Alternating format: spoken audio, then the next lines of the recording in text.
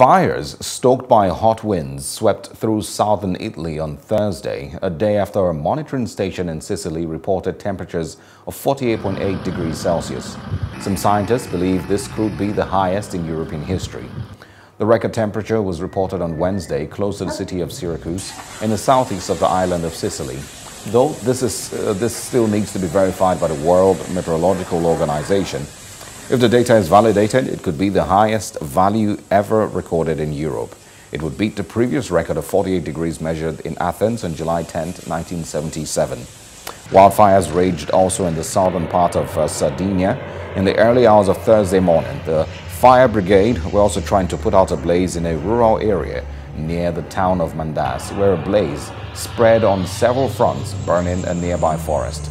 Two teams of firefighters were deployed to protect some residential structures on the outskirts of the town. And serious damage has also been reported in Calabria, the toe of Italy's boot, where some families left their homes and a man died on Wednesday. Hello. Hope you enjoyed the news. Please do subscribe to our YouTube channel and don't forget to hit the notification button so you get notified about fresh news updates.